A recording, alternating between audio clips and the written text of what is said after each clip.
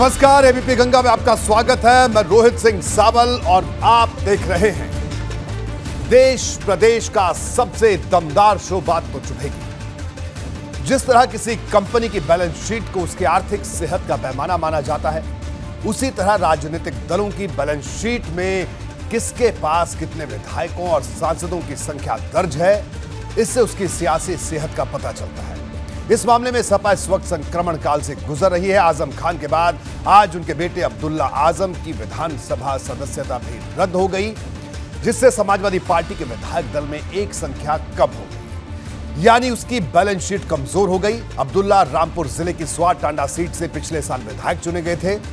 इससे पहले भी उनकी सदस्यता एक बार रद्द की जा चुकी है। अब विधानसभा सचिवालय ने स्वार टांडा सीट को खाली घोषित कर दिया है। भाजपा ने सपा पर चुभने वाला हमला बोलते हुए कहा है कि जैसा रामपुर सीट को उपचुनाव में सपा से छीन लिया, उसी तरह अब स्वार टांडा में भी कमल का परचम लहराएँगे भाजपा की ऐसी दावेदारी पर सपा भड़क गई। पार्टी का आरोप है कि भाजपा विपक्षी दलों को खत्म करने की साजिश कर रही है।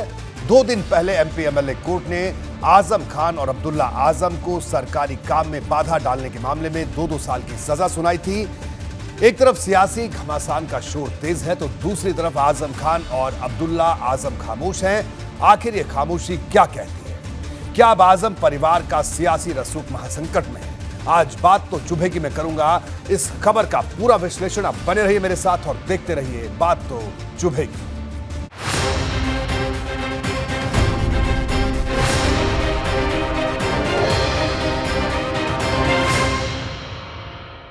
आज़म खान के परिवार में अब कोई विधायक नहीं रहा। रसूख वाले दिन लद गए, ऐसा कुछ लोगों का कहना है। यह वक्त आज़म परिवार के लिए गर्दिश ऐसा है। इसलिए रामपुर में खामोशी दिख रही है। एक तरफ़ आज़म परिवार मुकदमे के भंवर में है तो दूसरी तरफ़ सजा की फहरिस्त भी लंबी होती जा रही है। जमानत पर वक्त गुजर रहा है। इस पर भाजपा कह रही है कि जिसकी जैसी करनी वैसी भरनी। दावा है कि अभी पिता पुत्र को कई और मामलों में सजा हो सकती है।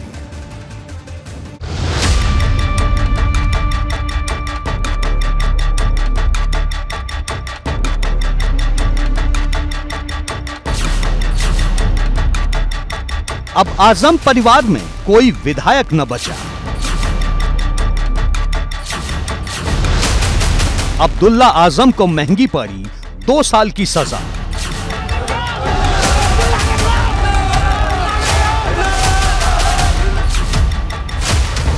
अब्दुल्ला की विधायकी रद्द स्वार टांडा सीट खाली घोषित। देश में ये पहला ऐसा मामला साबित होगा जहाँ पर एक ही विधायक की दोनों बार विधायक बनने के बाद दोनों बार कोर्ट ने ही उनकी विधायकी को छीना। तो निर्णय बिल्कुल सही है और हमेशा सत्य की ही जीत होती आई है और आगे भी सत्य की ही जीत है। पहले आज़म की विधायकी गई फिर बेटे की सदस्यता नहीं बची। माननीय न्यायालय ने उसमें आदेश किया है। उस पर मैं कुछ टिप्पणी नहीं करना चाहता हूँ लेकिन कॉन्स्टिट्यूशनल एक छोटी बेंच के आदेश के बाद वो एक बड़ी बेंच बनी है जिस पर वो न्यायालय में जा सकते हैं। समाजवादी पार्टी अपने आंदोलन का रास्ता नहीं छोड़ेगी जनता की आवाज़ को उठाती रहेगी।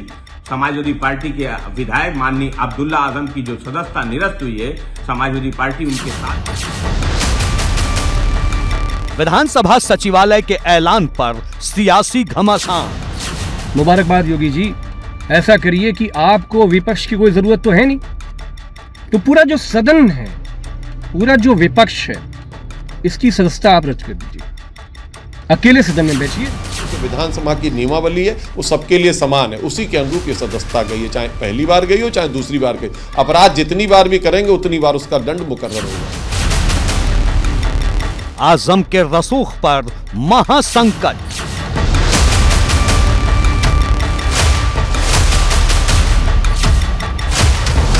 साख पर सवाल, जवाब से तौबा तौबा।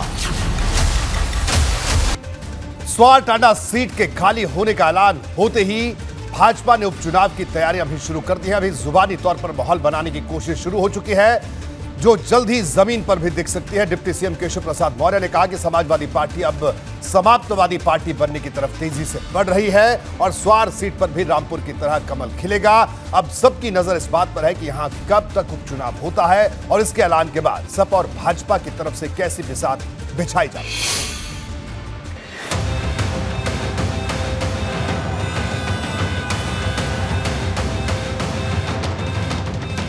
आज़म खान के बेटे अब्दुल्ला आज़म की विधानसभा सदस्यता रद्द होने की खबर ने समाजवादी खेमे में मायूसी का माहौल बना दिया तो भाजपा की जैसे बड़ी मुराद पूरी हो गई। अब दावा है कि जिस स्वार टांडा सीट पर कल तक सपा का परचम लहराता था, उस पर उपचुनाव के बाद भाजपा का झंडा दिखेगा। जैसे हमारे आकाश सक्सेना जी, मोहम्मद आज़म खां की खाली जो सीट रिक्त हुई थी, वहाँ चुनाव हुआ, जीत करके आए, वैसे ही जब भी चुनाव होंगे, हमें विश्वास है भाजपा के विधायक वहाँ से चुन करके आएँगे। भाजपा कह रही है जो जैसा करता है वैसा भरना पड़ता है। दावा है कि अभी सजा का सिलसिला लंबा हो सकता है। जैसी करनी वैसी भरनी ये बहुत पुराना मुकदमा था जिसमें आज अ, उनको सज़ा हुई है उनकी मेंबरशिप गई है और अभी उन पर कई सारे अभी मामले बाकी हैं। हालाँकि उनको सज़ा मिलेगी एक चार सौ का मुकदमा भी उन पर है जो लगभग साबित होगा ही होगा। भाजपा के खेमे में सबसे ज़्यादा हलचल रामपुर में है, जहाँ कभी आज़म का डंका बजा करता था। लेकिन आज हालत यह है कि आज़म परिवार से कोई विधायक नहीं बचा। पहले खुद आज़म खान ने अपनी विधायकी गंवाई, और अब दो साल की सजा के बाद बेटे अब्दुल्ला आज़म भी माननीय न रह गए। जिस तरीके से मुरादाबाद एम पी कोर्ट का निर्णय आया है वो अपने आप में ऐतिहासिक है। और देश में ये पहला ऐसा मामला साबित होगा, जहाँ पर एक ही विधायक की, दोनों बार विधायक बनने के बाद दोनों बार कोर्ट ने ही उनकी विधायकी को छीना। तो निर्णय बिल्कुल सही है और हमेशा सत्य की ही जीत होती आई है और आगे भी सत्य की ही जीत होगी। पिछले साल अक्टूबर में आज़म खान की सदस्यता रद्द हुई थी। मामला हेट स्पीच के एक केस में तीन साल की सजा सुनाए जाने का था। 27 अक्टूबर को आज़म को रामपुर के स्पेशल एमपी एमएलए कोर्ट ने सजा सुनाई थी और 28 अक्टूबर को यूपी विधानसभा सचिवालय ने पत्र जारी कर रामपुर सदर विधानसभा सीट से आज़म की सदस्यता रद्द करने की घोषणा कर दी। इसके बाद रामपुर विधानसभा सीट के लिए दिसंबर में उपचुनाव हुआ, जिसमें भाजपा के आकाश सक्सेना ने इस मुस्लिम बहुल विधानसभा सीट पर कमल खिला दिया। आज़म ने इस सीट पर अपने करीबी आसिम राजा को मैदान में उतारा था, जिन्हें चौंतीस हज़ार से भी ज़्यादा वोटों से करारी शिकस्त मिली। अब भाजपा का दावा है कि स्वार टांडा सीट के उपचुनाव में भी सपा को हार मिलेगी। अब केवल केवल न्याय है और अपराधी चाहे कोई भी हो, कहीं से भी रहकर अपराध करेगा, वो पकड़ा जाएगा, उसको सज़ा मिलेगी। इसमें फिर भारतीय जनता पार्टी जीतेगी और भारतीय जनता पार्टी ने साबित किया है कि हम धर्म, जाति, मज़हब पंथ अब कोई दीवार नहीं है। सबका साथ सबका विकास सबके विश्वास के साथ भारतीय जनता पार्टी आगे बढ़ रही है और उसने रामपुर आजमगढ़ जीता है इस बार स्वार भी जीतेंगे। अब्दुल्ला आज़म दो बार विधायकी गंवाने वाले पहले नेता हैं। भाजपा इसे करने की सजा बता रही है तो सपा कह रही है कि भाजपा ने विपक्ष को खत्म करने की साजिश रची है।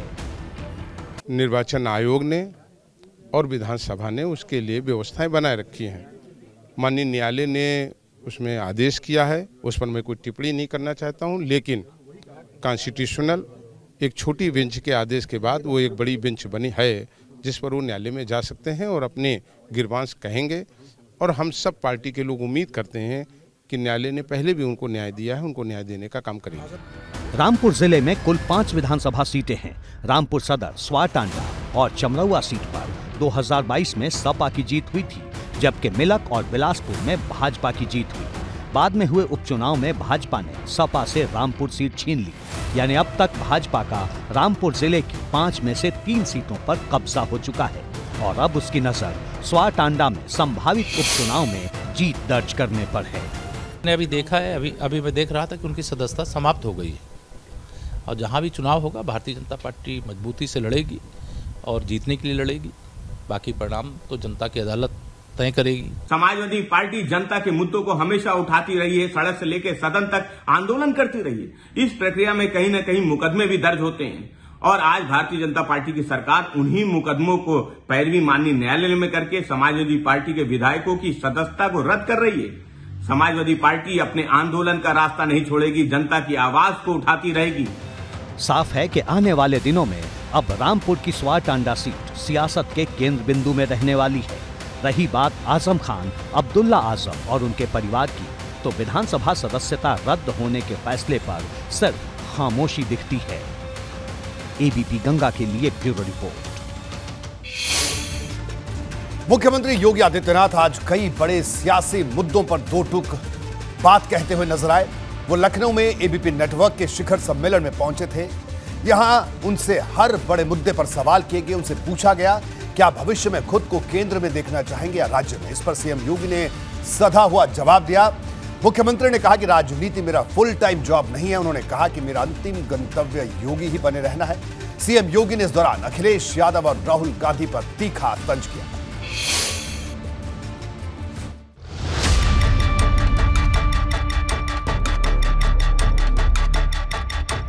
मैंने कहा, मैंने कभी नहीं कहा कि मैं प्रधानमंत्री बनने जा रहा हूँ। मैं एक योगी हूँ और योगी के रूप में ही रहना चाहता हूँ। एबीपी नेटवर्क के शिखर सम्मेलन में मुख्यमंत्री योगी आदित्यनाथ ने जो कुछ कहा उसके गहरे सियासी मायने हैं। साफ़ संदेश है सीएम योगी से सवाल किया गया था कि आप भविष्य में खुद को केंद्र में देखना चाहेंगे या राज्य में? जवाब सुनिए। भविष्य में आप खुद को केंद्र में देखना चाहेंगे या राज्य में? मैं अपने मठ में देखना चाहूँगा।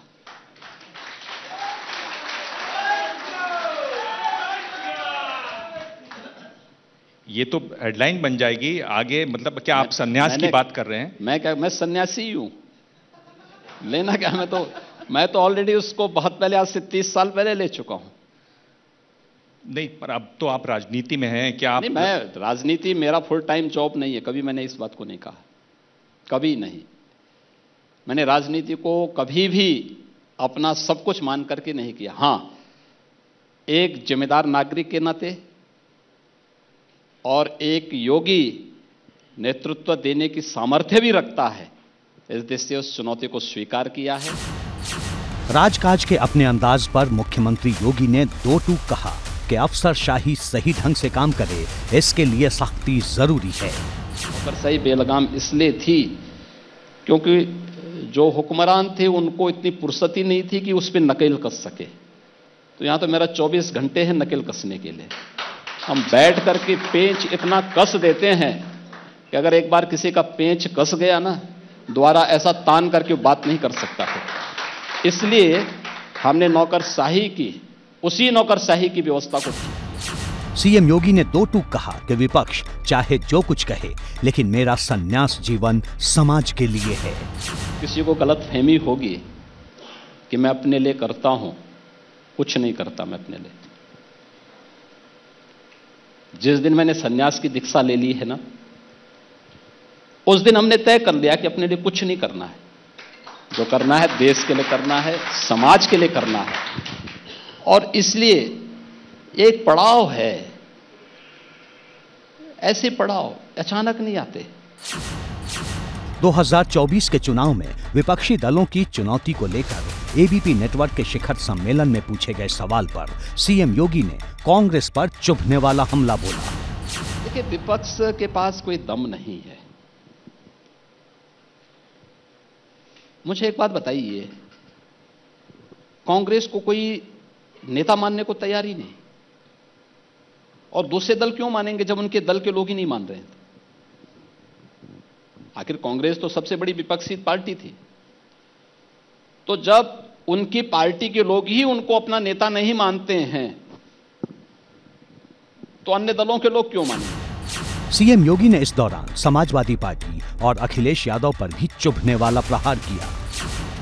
देखिए उन्होंने यही सब कुछ किया है क्योंकि उन्होंने दिया नहीं अपने लिए लिया है। और यहाँ तो जब अपना कुछ है ही नहीं तो इसलिए जो कुछ भी होना है सब 25 करोड़ जनता के लिए होना है। इसलिए यहाँ तो देने के लिए ही है। यहाँ लेने के लिए कुछ भी नहीं है। लखनऊ का नाम बदलने को लेकर छिड़े सियासी घमासान पर भी सीएम योगी ने अपनी सरकार का रुख साफ़ कर दिया। इशारा साफ़ है कि लखनऊ, फ़िलहाल लखनऊ ही बना रहेगा। इस दौरान उन्होंने बेगम हज़रत महल का खास ज़िक्र किया और उन्हें अठारह सौ सत्तावन की क्रांति की वीरांगना बताया। योगी ने कहा कि लखनऊ का इतिहास काफ़ी प्राचीन है और हर दौर में इसकी पहचान महापुरुषों से जुड़ी रही है। मुख्यमंत्री रहते हुए वो मठ के अध्यक्ष भी हैं और ये उनके मन में प्रधानमंत्री बनने की बहुत इच्छा है। अब ये अलग बात है कि उनके मंचों पर उनको सार्वजनिक रूप से कहने की हिम्मत नहीं है। 2024 में केंद्र में गैर भाजपाई सरकार बनेगी और सभी भाजपा के खिलाफ जो विपक्षी पार्टियाँ हैं, वो मिल करके दिल्ली में सरकार बनाएगी। समाजवादी पार्टी उसमें सबसे बड़ी पार्टी होगी और अखिलेश यादव जी देश के अगले नए प्रधानमंत्री होंगे। सीएम योगी के ताज़ा बयान पर सपा ने चुभते हुए तीर छोड़े हैं। अभी लखनऊ के रूप में जाना जा रहा है लखनऊ ही रहेगा। एक एक उनके नाम पर। एक पराक्रमी राजा थे और और भी थे यहाँ पे बहुत सारे बिजली पासी भी थे अच्छे पराक्रमी राजा थे। लखनऊ की परंपरा ऐतिहासिक पृष्ठभूमि के साथ साथ बेगम हज़रत महल अठारह सौ सत्तावन की क्रांति की बहुत बड़ी वीरांगना थी। और उस समय उन्होंने ब्रिटिशर के खिलाफ आज़ादी की उस लड़ाई में प्रमुख भूमिका का निर्वहन किया था। लेकिन अगर हम उससे पहले भी जाएँ तो लखनऊ की पहचान एक पौराणिक कालखंड से भी रही। है साफ़ है कि सीएम योगी के राजकाज पर दिए गए ताज़ा बयान पर सियासी गलियारों में हलचल तेज हो गई है। एबीपी गंगा के लिए ब्यूरो रिपोर्ट। सीएम योगी ने आज 2024 के चुनावी एजेंडे की बड़ी झलक दिखाई। उन्होंने कहा कि भारत हिंदू राष्ट्र है और रहेगा सीएम योगी ने इसके साथ ही सावधान किया कि जो लोग हिंदू को मत और मज़हब से जोड़ रहे हैं, वो हिंदू शब्द को समझ पाने में भूल कर रहे हैं। मुख्यमंत्री ने कहा कि संविधान हमारा मार्गदर्शक है और हर भारतीय के मन में इसको लेकर सर्वोच्च भाव होना चाहिए। जब सीएम योगी ने अल्लाह और ओम को एक बताने वाले जमेत उलेमाए हिंद अरशद मदनी को लेकर सवाल किया गया तो उन्होंने इशारों में मदनी को कूप मंडुक बता डाला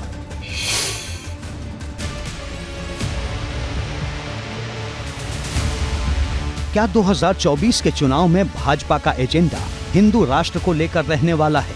ये सवाल इस वजह से उठा है क्योंकि सीएम योगी आदित्यनाथ ने एक बार फिर इस मुद्दे को हवा दे दी है।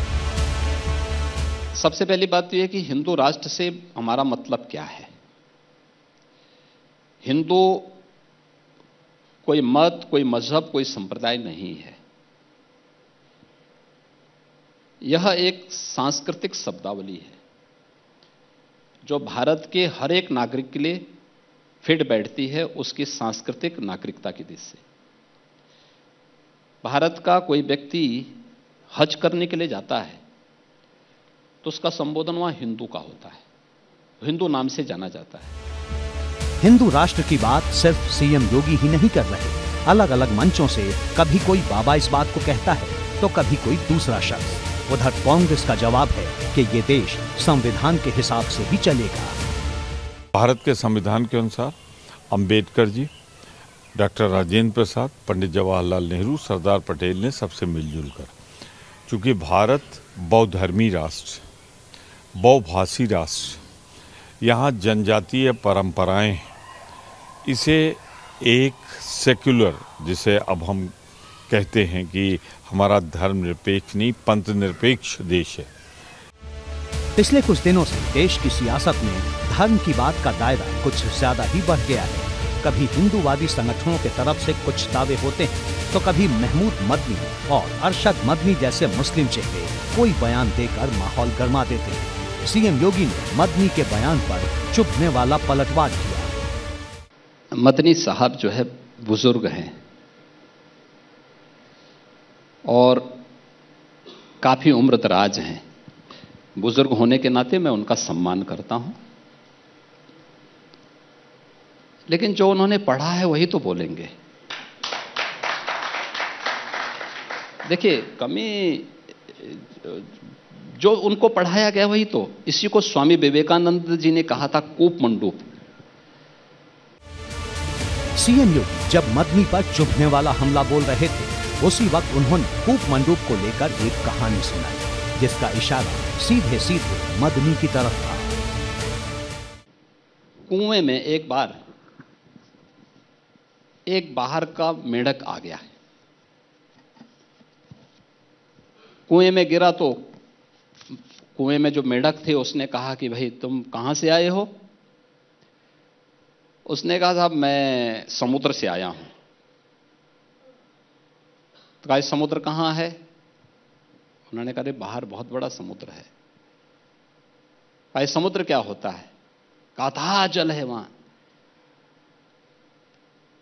कहा कि उसने एक कुएँ के अंदर एक जगह से दूसरी जगह छलांग लगाया, कहा, इतना इससे भी बड़ा कहा भी बहुत बड़ा है। तो उसी में वो झगड़ पड़ा। कहा कि, भाई, तुम झूठ बोलते हो। तो जिसने दुनिया देखी ही नहीं है, वो तो यही बोलेगा। बात करते हैं रामचरित मानस विवाद की। सपा महासचिव स्वामी प्रसाद मौर्य हर दिन इस विवाद में नया पन्ना जोड़ देते हैं। तो सीएम योगी ने आज उन पर तीखा तंज किया। उन्होंने कहा कि वजूद के लिए संघर्ष कर रहे लोग ऐसे विवाद उछाल रहे हैं। उन्होंने, उन्हें शर्म आनी चाहिए। वहीं कैबिनेट मंत्री डॉक्टर संजय निषाद ने स्वामी को इशारों में अधर्मी कह डाला।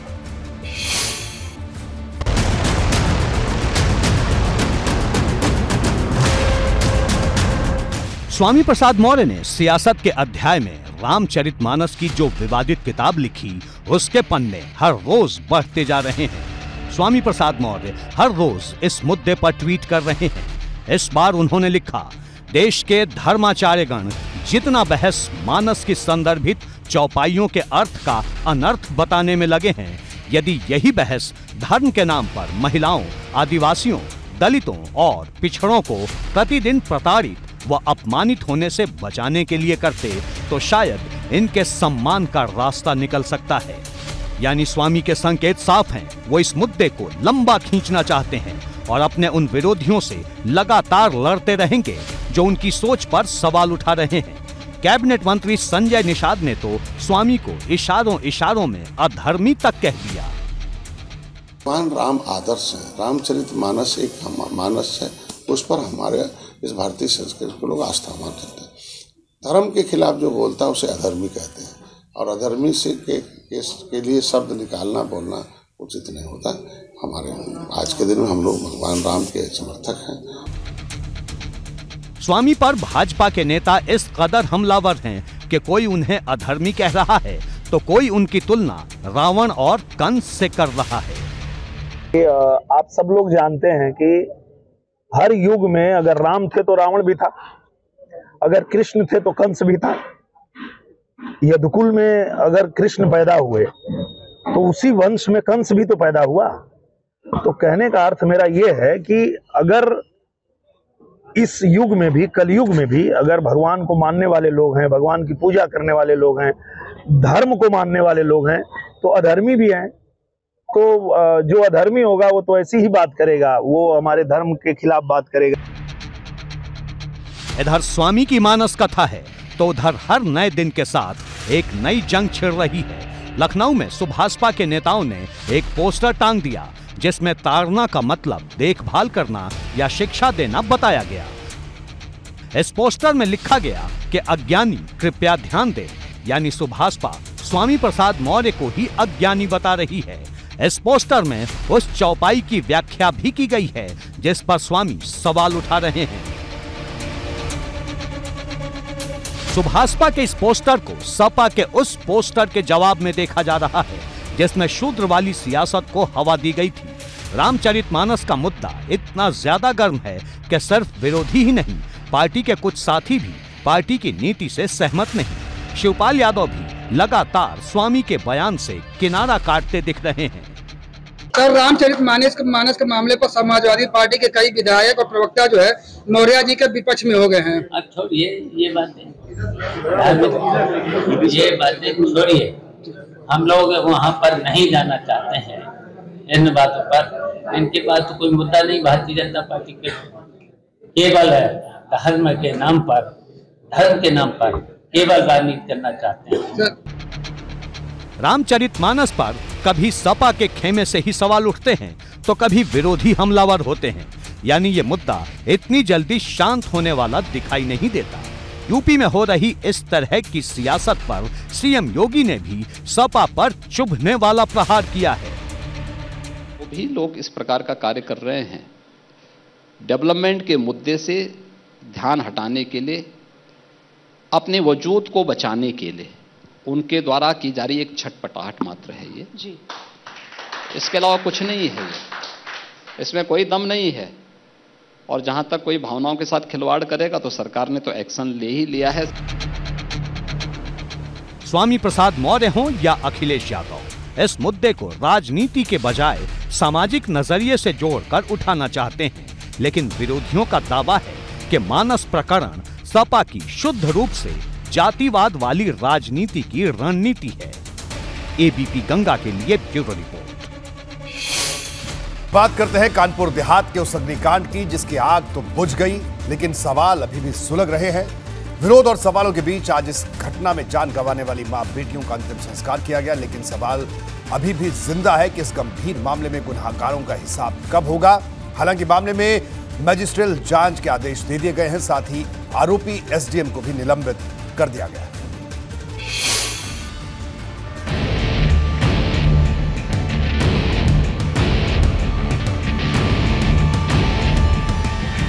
कानपुर देहात के बड़ौली गाँव की घटना ने उत्तर प्रदेश का माहौल गर्म कर दिया है।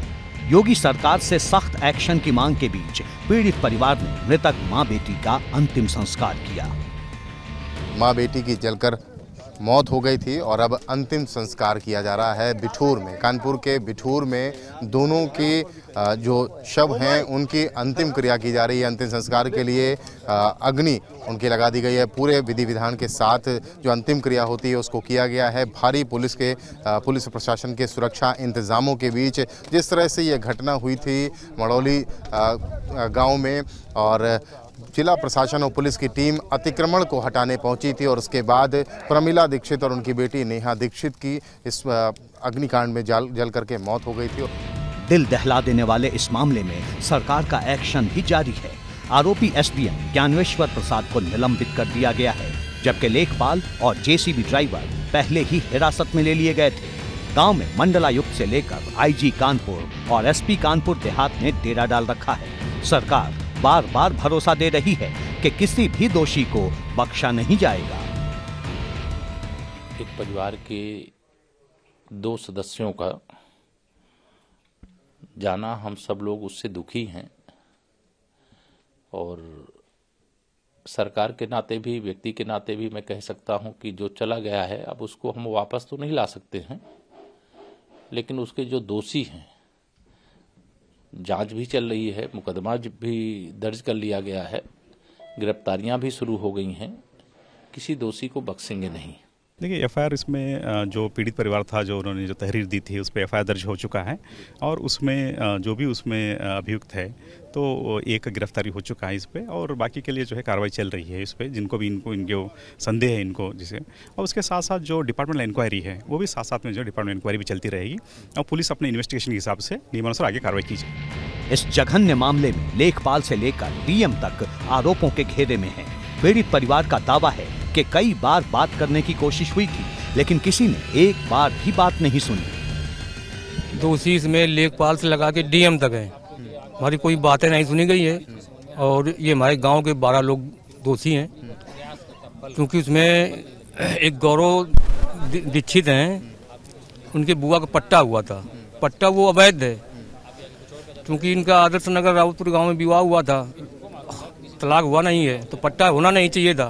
उसी पट्टा के चक्कर में ये जो है सब साठ गांठ मिल के ये एक इसके पहले भी जो है हमारा मकान गिरा दिया गया। मंगलवार की रात पोस्टमार्टम के बाद परिजनों को माँ बेटी के शव दिए गए थे। डिप्टी सीएम ब्रजेश पाठक ने खुद पीड़ित परिवार से फ़ोन पर बात की थी लेकिन अब इस घटना के बाद सरकार के भीतर से भी तल्ख आवाज़ निकलने लगी है। कानपुर से भाजपा विधायक अभिजीत सिंह सांगा ने उन अधिकारियों पर बुलडोजर चलाने की मांग की है, जो निरंकुश हो चुके हैं।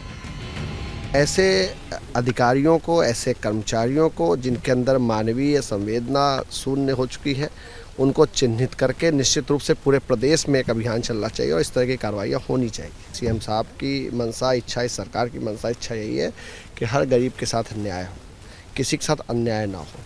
लेकिन जहाँ पे प्रशासनिक तंत्र गड़बड़ कर रहा है, जहाँ पर इस तरह की शिकायतें आ रही हैं निश्चित रूप से सबसे पहले बुलडोजर ऐसे कर्मचारियों के ऊपर, ऐसे अधिकारियों के ऊपर चलना चाहिए। उनके द्वारा जहाँ पर गलत किया जा रहा उन पर कार्रवाई की जानी चाहिए। लोगों में इस घटना को लेकर किस कदर गुस्सा है, इसका एक वीडियो भी सामने आया। जब मृतक माँ बेटी का रात के वक्त पोस्टमार्टम हो रहा था, तब मंत्री प्रतिभा शुक्ला और उनके पति अनिल शुक्ला वारसी वहाँ पहुँचे थे, जिनका कुछ लोगों ने विरोध किया और नौबत हाथापाई तक आ गई। मंत्री के पति अनिल शुक्ला वारसी ने युवक का गिरेबान पकड़ने की भी कोशिश की। इस दौरान मंत्री प्रतिभा शुक्ला के सामने उनकी ही सहयोगी ने हाथापाई करने वाले युवक को भद्दी भद्दी गालियाँ दी। जिस वक्त ये हाथापाई हो रही थी, तब अपर पुलिस अधीक्षक के साथ कई पुलिसकर्मी भी वहाँ मौजूद थे।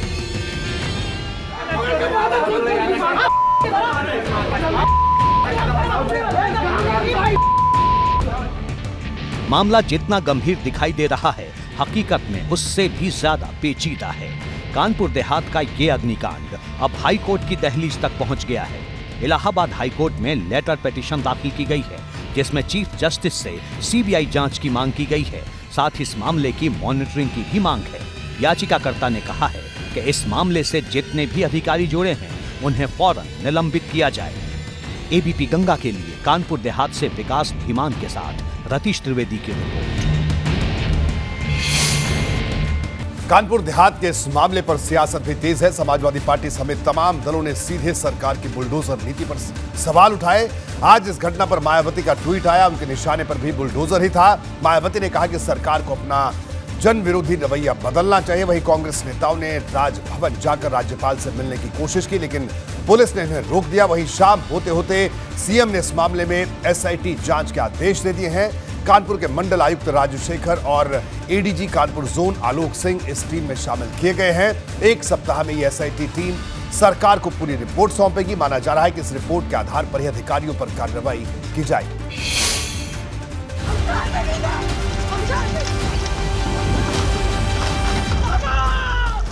कानपुर देहात में बुलडोजर की कार्रवाई के बीच माँ बेटी की जलकर मौत हुई और ये मामला सियासी लपटों में घिर गया। समाजवादी पार्टी लगातार मोर्चा खोले हुए है। निशाने पर बुलडोजर लेकर पहुँचने वाले अधिकारी हैं और सवाल सीधे सरकार से है। कुछ जेसीबी के ड्राइवर को, जो पंद्रह सौ रुपए की नौकरी करता था,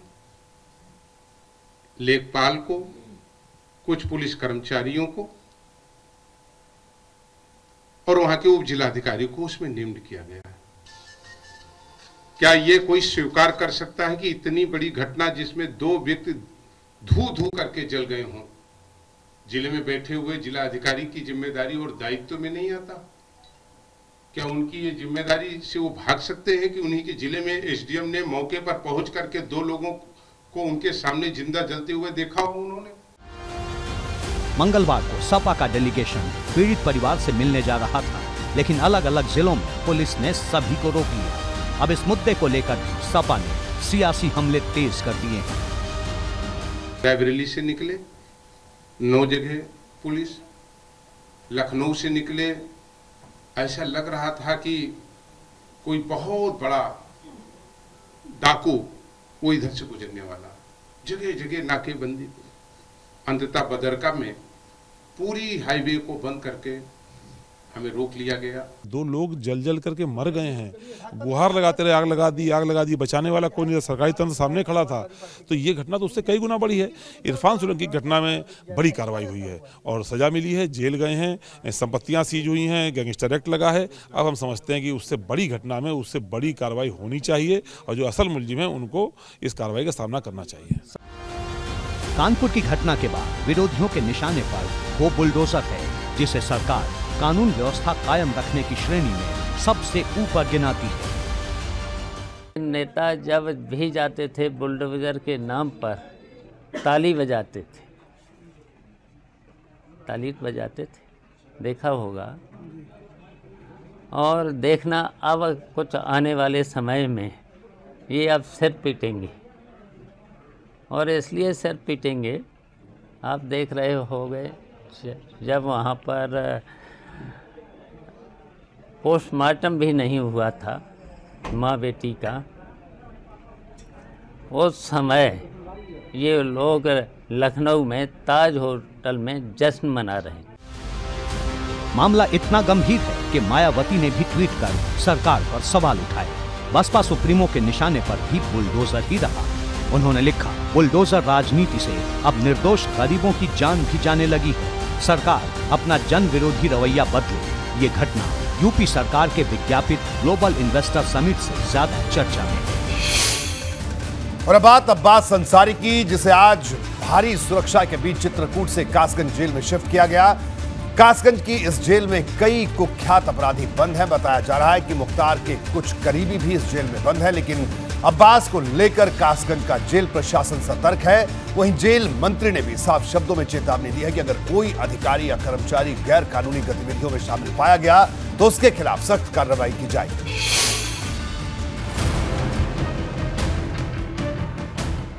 चित्रकूट जेल में हुए निकहत और अब्बास के मिलन कांड के बाद अब्बास अंसारी का पता बदल गया है। विधायक अब्बास अंसारी को भारी सुरक्षा के बीच कासगंज जेल पहुँचाया गया। यानी अब मुख्तार परिवार के तीन सदस्य यूपी की तीन अलग अलग जेलों में हैं। माफिया मुख्तार अंसारी, जहाँ बांदा जेल में बंद है, वहीं विधायक अब्बास अंसारी कासगंज की काल कोठरी में कैद है, जबकि निकाहत अंसारी को अभी भी चित्रकूट जेल में ही रखा गया है। डॉन मुख्तार अंसारी के विधायक बेटे अब्बास अंसारी की असली जेल यात्रा की शुरुआत हो चुकी है और इस समय कासगंज की पचलाना जेल में आप देख सकते हैं कि तमाम अधिकारियों की मौजूदगी में कड़ी सुरक्षा के बीच अब्बास अंसारी को जेल के अंदर भेजा जा रहा है, शिफ्ट किया जा रहा है। तस्वीरों में देख सकते हैं कि करीब एक दर्जन गाड़ियों के काफिले में आप देख सकते हैं, जो आयसर नंबर की गाड़ी है, जिस पर जो जाली लोहे की बनी होती है, उस पर पर्दे पड़े हुए हैं। इसमें ही अब्बास अंसारी है, लेकिन पूरी तरह से उसको कवर कर दिया गया है। दो गाड़ियाँ बिल्कुल सेम तरह की गाड़ियाँ हैं। ऐसे में आप इस बात को कैलकुलेट नहीं कर सकते कि किस गाड़ी में अब्बास अंसारी है। चित्रकूट जेल में वैसे तो निकाहत अंसारी का कई दिनों से आना जाना था, लेकिन इस बार जब 12 फरवरी को अब्बास की बर्थडे पार्टी की प्लानिंग चल रही थी, तभी ये भांडा फूट गया। अब्बास अंसारी को चार थानों की फोर्स और 10 गाड़ियों के साथ चित्रकूट से कासगंज की सैर करवाई गई। मैं है और कासगंज बॉर्डर पे अब्बास अंसारी का काफिला पहुँच गया। आप देखिए, जो अब्बास अंसारी को लाया जा रहा है चित्रकूट जेल से, मैं दिखा दूँ आपको इस वैन में अब्बास अंसारी है चित्रकूट जेल से। यहाँ से पचास यहाँ तीस किलोमीटर दूर पचलाना जेल ले जाए ले जाया जाएगा अब्बास अंसारी को। इसी वैन में अब्बास अंसारी है, मैं दिखा दूँ आपको, ये तस्वीर है। ये अब्बास अंसारी का काफिला कासगंज पहुँच चुका है। ज़ाहिर है, अब्बास की जेल बदली के बीच कोई अनहोनी न हो, इसके लिए पूरे इंतज़ाम किए गए थे। कासगंज के जेल प्रशासन पर और ज़्यादा ज़िम्मेदारी थी।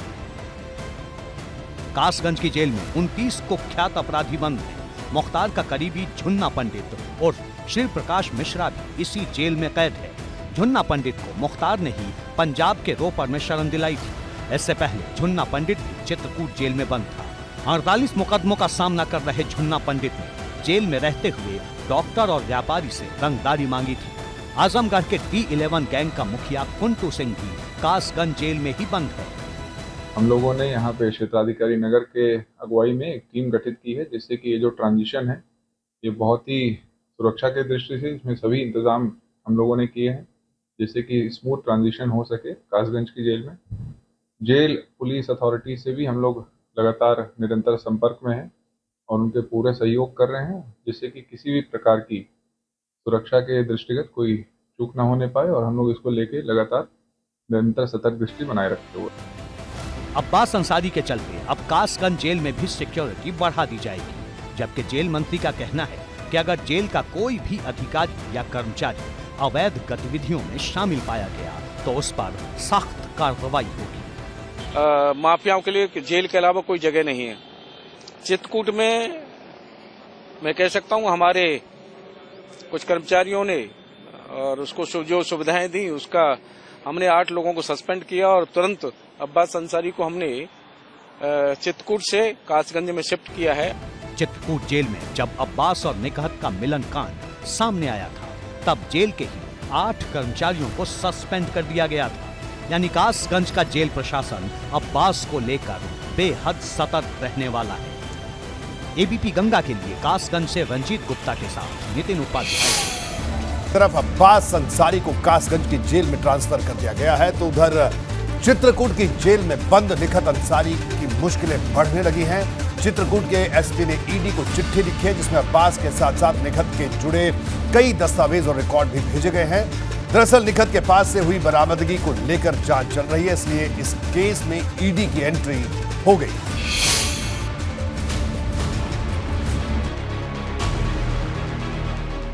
अब्बास अंसारी को चित्रकूट से कासगंज की जेल भेज दिया गया है।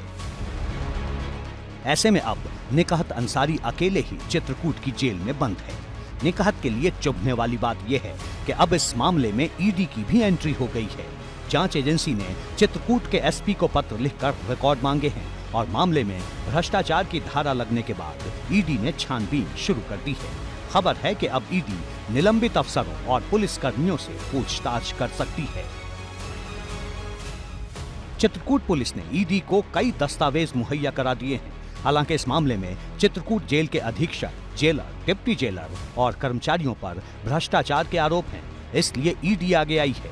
सूत्रों के हवाले से कहा जा रहा है कि विधायक अब्बास अंसारी ने जेल में सुख सुविधाएँ हासिल करने और पत्नी से निजी मुलाकात करवाने के एवज में जेल के अधिकारियों और कर्मचारियों को लाखों रुपए के तोहफे दिए थे। ईडी ने भ्रष्टाचार के इन्हीं आरोपों के मद्देनजर अपनी जाँच शुरू की है। जेल के कर्मचारियों ने सुविधा शुल्क लेकर अब्बास और निखत की मुलाकात करवाई थी। ये बताया जा रहा है कि बहुत सारे महँगे तोहफे अब्बास अंसारी ने जेल के जेलर से लेकर डिप्टी जेलर, सुपरिटेंडेंट और वार्डरों को उपलब्ध कराए थे। ये कौन कौन से तोहफे थे, इसके लिए पैसा कहाँ से आया, किस तरह से डील हुई, ईडी अब इन सब मामलों की छानबीन करेगी। ईडी की एक टीम जल्द चित्रकूट जाकर जेल में अधिकारियों और कर्मचारियों से भी मिलेगी। इधर निकहत और अब्बास के मिलन कांड पर एक्शन तेज हुआ तो दूसरी तरफ़ सियासत भी तेज हो गई। शिवपाल यादव ने कहा कि विरोधी नेताओं और उनके परिवार के लोगों को झूठे मुकदमों में फंसाया जा रहा है। ये भारतीय जनता पार्टी की सरकार केवल विपक्ष को, केवल विपक्ष को बर्बाद करने का काम कर रही है। जबकि आपने देखा है कि हमारी भी सरकार रही, नेताजी भी तीन बार मुख्यमंत्री रहे, अखिलेश मुख्यमंत्री रहे। पूरे विपक्ष को सम्मान दिया जाता था। बात उत्तराखंड की सियासत की, कांग्रेस के भीतर बयानबाजी पर घमासान छिड़ा है। हरक सिंह रावत और हरीश रावत के बीच जुबानी जंग जारी है। एबीपी गंगा को दिए एक्सक्लूसिव इंटरव्यू में हरक रावत ने कहा था कि मेरे कांग्रेस में शामिल होते वक्त ही हरीश रावत की मुझसे सारी नाराज़गी दूर हो गई थी। इसके बावजूद उनकी तरफ़ से नाराज़गी की बातें ठीक नहीं है। इस पर हरीश रावत ने कहा कि मेरी किसी से नाराज़गी नहीं है। ये कहने के बाद हरीश रावत इशारों इशारों में हरक सिंह रावत पर चुभने वाला तंज भी उन्होंने कसा। हरीश रावत जी के मन में कहीं ना कहीं आ, वो नाराजी मेरे को लेकर होगी 2016 की। जी। अब भी आपने देखा है कि उनका बयान अब भी आया। जी। नाम लिए बिना उन्होंने जिस तरह इशारा किया हालाँकि अब उचित नहीं था इसलिए उचित नहीं था क्योंकि जब मैं कांग्रेस पार्टी में सम्मिलित हुआ तो उसमें उनकी भी सहमति थी।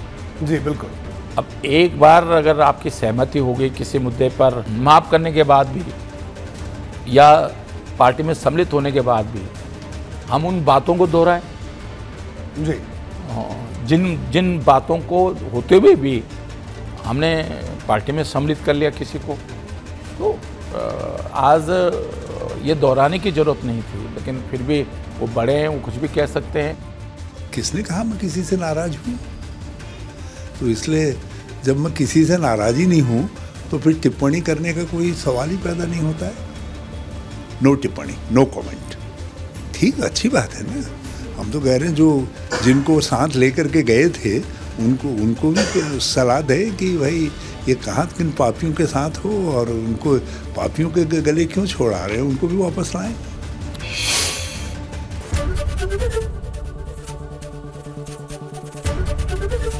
एबीपी गंगा, खबर आपकी, जुबा आपकी।